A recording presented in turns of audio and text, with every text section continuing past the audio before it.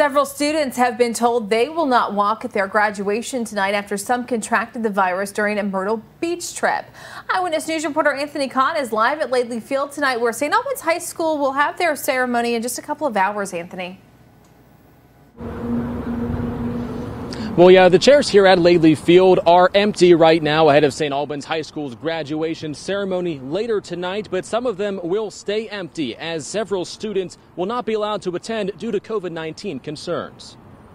St. Albans class valedictorian Connor Mann had his commencement speech ready. I've been working on this speech for months. But he won't be able to give it or even attend.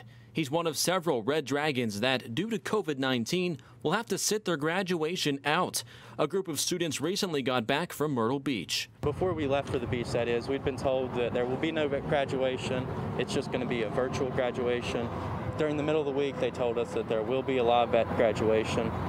Um, we're there all week.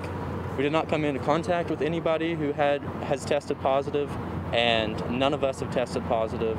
For school officials, it's all about preventing further spread of the coronavirus. Principal Jeffrey Kelly says it's due to the recent uptick in cases. I fully understand the kids uh, being upset and the parents being upset. Um, but we're also trying to be safe. Those not allowed at graduation are those who have either tested positive, were around someone who did test positive within the last 14 days, or had been to Myrtle Beach in the last 14 days.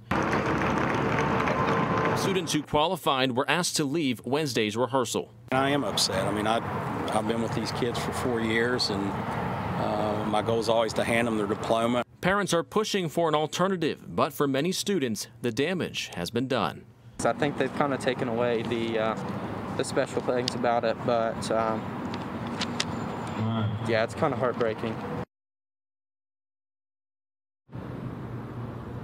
And Principal Kelly said that he will be talking with health officials about some possible alternatives, but right now there's no guarantee that anything will change for tonight's ceremony that starts here at Laidley Field at 7:30.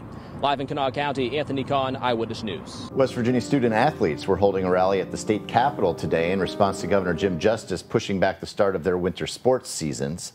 Eyewitness News reporter Anthony Conn was there.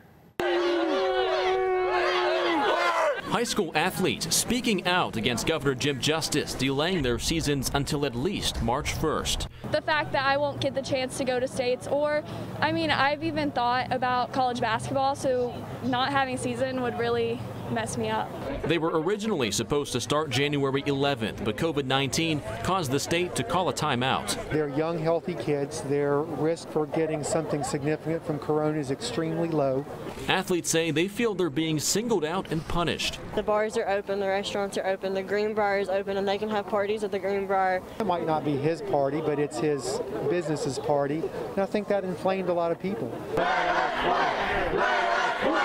Justice getting an earful on his way into the state capitol before the press briefing Friday. What these people, coaches or whomever it may be, are pushing these kids to do is these kids are out here and they're all yelling and everything. They're not pushing us. We want to do it. A lot of them don't have masks on. All of us have our masks We all have masks on. Justice not budging, saying the safety risk is just too high. In this situation, they can yell all they want.